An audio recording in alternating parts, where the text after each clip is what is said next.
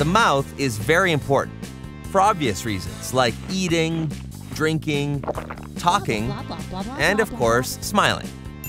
What you might not know is that your mouth contains a lot of clues about what is going on in the rest of your body, which is why it's so important to see your dentist. During a routine exam, dentists look for way more than just cavities and gum disease. They're searching for clues that may point to serious health issues inside and outside your mouth.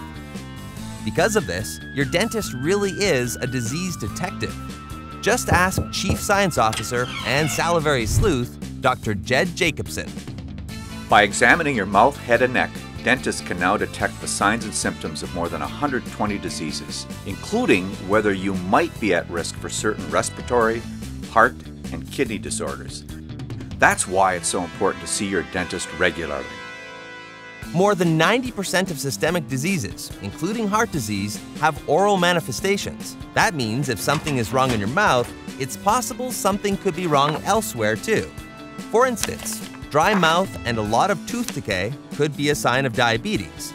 Inflammation of the gums and jaw pain could be associated with heart disease.